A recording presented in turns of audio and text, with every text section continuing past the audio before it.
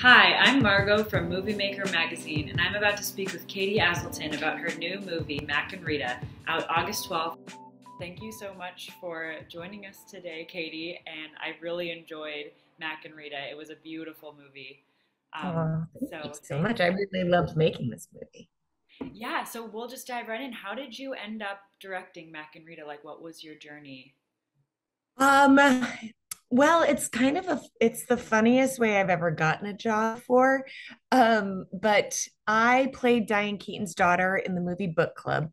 And that movie was direct uh, was produced by Alex Saks, who I have been friendly with for years um, since she worked at ICM, which is my old agency, and and so we've had always been friendly. Got to be much better friends on book club ended up going to the same Pilates studio, which is the same Pilates studio that you see in the movie, which is not an accident.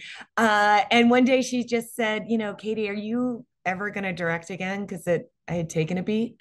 And um, and I was like, yeah, no, I really am thinking this is my year. And she goes, Great, I have a script for you. And it was this. And I read it and I was like, I don't know, babe, like this is a big, broad body switching comedy. And I make really small, like gritty little indie movies for no money that are just about feelings and uh and she was like all right well like let's be straight here like it's still not going to be a lot of money and it's ultimately a movie about feelings that just happens to have some body switching elements to it uh but it also has Diane Keaton and like are you going to say no to that and uh and I I wasn't that's incredible. Yeah, that's so great. Um, what were your first thoughts when you read the script? Um, I mean, look, my first thoughts were I had trepidation about a big broad comedy. It was it felt like it was out of my wheelhouse, and um, even though the more I thought about it, I was like, I my comfort actually is in comedy after being on the league for so long and um, I was thinking about like my happier experiences on set, and most of them are on comedies. And, uh, you know, even like thinking back to the freebie where like my favorite moments were like doing our happy montages. And it's like, maybe you should just make an entire movie that is a big happy montage, right? Um, and so, but then I really, the message of this movie and the heart of this movie really resonated with me. And I think um, it felt, uh, particularly like post pandemic, mid pandemic, like when we really got the ball rolling with this, it felt like a really important message to get out there and share. Yeah, for those watching that don't know what the movie is about, can you give us like a little breakdown and, and kind of what that um, message yeah. is? Yeah, no, the the movie is about a 30 year old woman who feels stuck and uh, in her life living kind of inauthentically and trying to fit in with friends who are sort of running at a different pace that she than she prefers to. And um you know i think she really like confuses age with wisdom and she longs to have that sense of self that the older women in her life have. And um by a crazy turn of events she uh tr- just transforms into a 70 year old version of herself who then is still on the journey um, to realize that it is, uh, you know, there is no age to living your your truest self. Like you just have to love who you are where you're at. Yeah, and I, I'm speaking of that that tanning, the magic tanning bed. Um, how did you get Simon Rex involved in this movie? Because that was such a pleasant surprise. Like, I know it was really fortuitous the way it worked out. So Alex um, Saks also produced Red Rocket. And as we were looking to cast this role and sort of really thinking about who this was going to be, um, she was like, We just picture locked. And she goes, I really think Simon is going to have a year. And I was like, Simon Rex, like MTV's Simon Rex, Jack and Jill's Simon Rex. And she's like, Yeah, no, he's kind of incredible. And so I met with him, and he really is, he kind of has like that Luca vibe. Like he lives out in the desert in like a storage container. Oh that is real. that is real. That is not written for the character. Like he is that that character. So it felt once I met him, I was like, oh, he's perfect. And he's great. And and truthfully, like he's a real special dude. I was really happy to meet him on this. Yeah, and I'm also so curious as an actress yourself, like how does that so much acting experience does that influence how you direct? Um, Definitely. You know, I think there are a lot of directors who are very technical in the cinema of what they do. And the way I approach uh, directing is more of like I hire a DP I love, we set the look, and then I actually just let him do it, them do their job.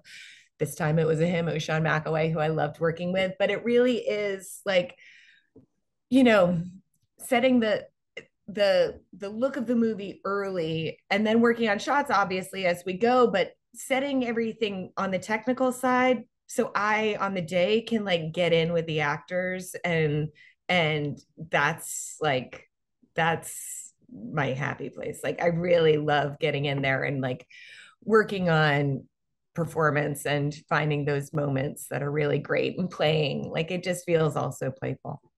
Yeah this movie was so fun and and to your point playful. It reminded me of freaky friday a little bit like yeah definitely. There were nods to like freaky friday and 13 going on 30 and big and um it's interesting like you know the body swapping device of storytelling is is so useful as a tool of of sort of teaching a lesson. And it's a great way of being able to show perspective. And uh it's uh yeah after doing it i was like oh yeah no it's incredibly handy as a storyteller. Yeah and diane keaton is so brilliant in this role. Like what was it like working with her? What conversations did you have about this character and kind of like what this movie means? Yeah, I mean, it was uh, an utterly surreal experience. I think, you know, when I got cast in book club as her daughter, I was like, I'm done. Like I just retire after this, right? Like it does is it ever like could any dream come any truer? Like I that was it. And I'm glad I didn't because it turns out it can come truer and it did. So i really like even like on the eve of this coming out in theaters like i'm still pinching myself that i got that opportunity because she is just quintessentially like the most diane keaton you could ever ever hope for. Like the diane keaton that we all know and have fallen in love with as audiences is exactly who she is, which is so great because for this movie that's it right? Like it's all about showing your your most true self your most authentic self. And she just really epitomizes that. Like she is unapologetically 100% herself. And that is with all of the quirks and the flaws and the insecurities and the heart like that all wrapped up into one is Diane. So then working with that was really just like allowing those natural things to shine but that is just what she does. It's what she does in every performance. She is just 100% present and there and um, i think that's why she's had a bit of a career. She sure has. Yeah. Absolutely has. Um, and i also i really identified with this story just because like i sometimes wish that i was an old lady already so i could just dress how i want to dress and yeah like it's so relatable. Were you thinking of that when you were directing this, like how it would inspire? Absolutely. Absolutely. Because there were like moments like, and like little lines that we added in, like that Amy Hill line at the end was like an ad that I threw in. And I'm just like, it's the one that sticks with me the most, where she's like, those years you want to skip, like those are the good years, those are the you years because it is like we do like have this idea that we want to go back or we want to skip forward but it's like no we're in this now and we're only going in one direction you know? And once you get there there is no going back and getting to do it again.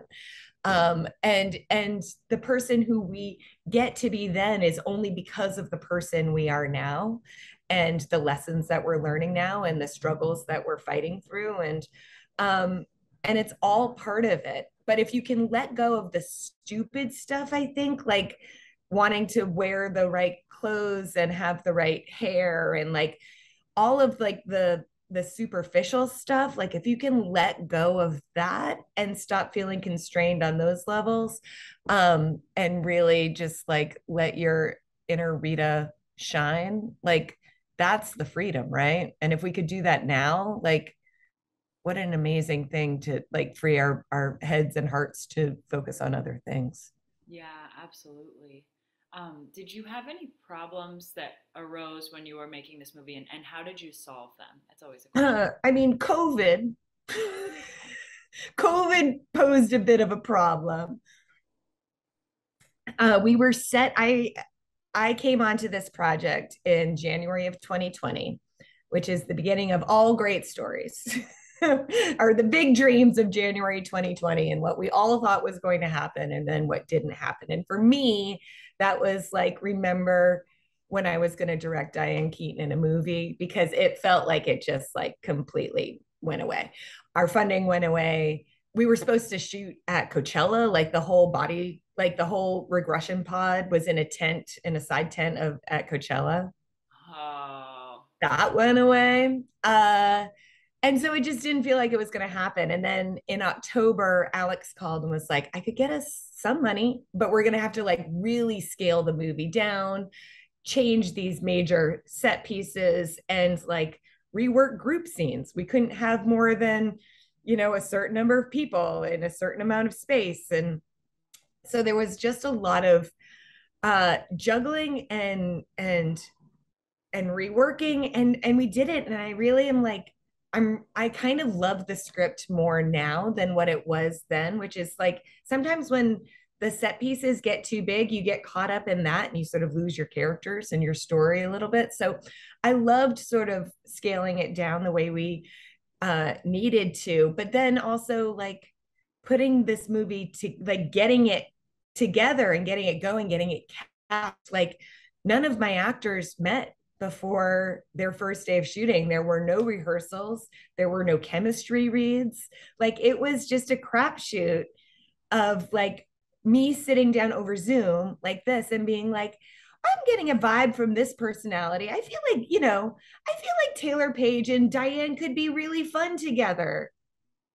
Yeah. I don't know. I don't know. I think that Elizabeth and Dustin could have like cool chemistry, maybe and so it really was um it was wild to get them all on set and watch it work. And i was just like i thanked my lucky stars every night when i went home and i was because it could have gone either way. I really do think so. I think um that that was wild. And then you know we had crazy like logistical things as we were shooting like our day out at the beach shooting the marie claire power summit. There was like an insane windstorm with like gale force winds that picked up our tents like it, we were in the Wizard of Oz and just like sent them down well, up to Malibu. they went from like the Santa Monica Pier to Malibu. It wow. was crazy. It was really wild. Uh, so we had to go back and finish shooting that day. And the only day we could fit it in was the day that Diane is stepping out of the tanning bed. So it was like my two biggest moments got crammed and truncated in on the same day, which was that was crazy. That's incredible. Also, speaking of the the Power Summit scene, Nicole Byer. Nicole Byer and Jeffrey Self. Like that day was so wonderful. Watching those two little buggers of scene stealers, like they are so great. I love them so much. Nicole is just brilliant. That that role is very you know minimal on the page. Like it was really me just knowing that whoever we were going to cast was going to be big and fill that space with something so unique to them. And i was just like just do it. Like what do you think? And she was like i got this. And i was like great great great great. And then jeffrey self comes in with uh just his heart and his charm and i just love him so much. I love him so much. They were incredible. I, I was so i was so pleasantly surprised to see them. Um uh how long did you guys spend filming this? I want to say it was 28 days. I think we were four weeks. Okay nice. Yeah and i loved two more weeks but I think it's really interesting to talk to directors about problem solving and like how you make the most of what you have. Yeah. Look, I I I I can't wait to see what it's like to work with a ridiculous budget that allows for time and um you know all like that seems so foreign to me all i know like this movie was made on still a very tiny small budget but was so much bigger than like the two movies i had done before my first movie i made for $10000 so that's no money. The next movie was made for two hundred and fifty thousand dollars, two hundred thousand dollars.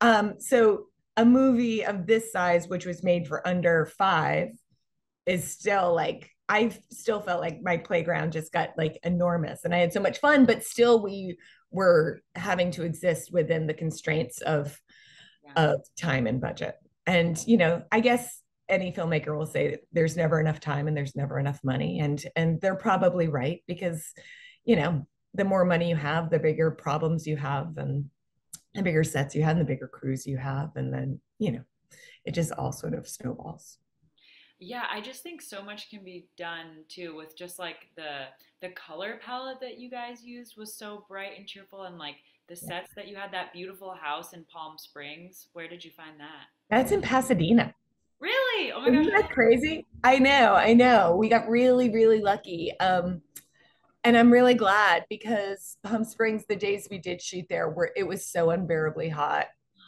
that we were all just like dying. Uh, and then our days shooting in Pasadena, we were in like wool sweaters. Wow. Oh I know. It's hard to I'm in Pasadena right now and it is so hot. I cannot imagine wearing a wool sweater. Well, it is August. We shot in March. Oh, nice. I'm looking forward to that.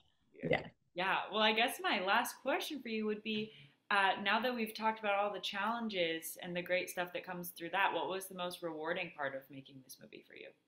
Um, I think looking at the final product and being really proud of it. I really like, I love how full my heart feels at the end of that final scene. Um, and I really hope that audiences, like, I hope it fills their hearts too and leaves them with a sense of of confidence that they can be who they are uh, unapologetically, love who that person is, and uh, and and go out into the world from there. I think the world is is gnarly enough as it is. Like we should be a little nicer to ourselves. Oh, that's perfect. That's a great. That's a great way to bookend this. Thanks. Thank you so much for your time. And again, I just really, really enjoyed this movie. It was so uh, made me laugh. Thank you very much. I appreciate it.